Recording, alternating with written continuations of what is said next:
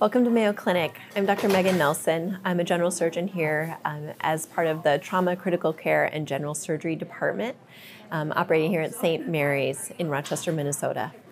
Today, you'll be joining us to take care of an 86 year old male farmer um, who came to us first via the ER. He showed up with an obstructed left Spigelian hernia.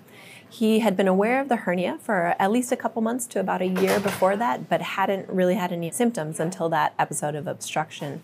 Since then, he's had increasing discomfort in his left lower quadrant. So today, we'll be doing a robotic assisted left Spigelian hernia repair with a transabdominal preperitoneal approach. I think we're about ready to get started, so come with us into the OR.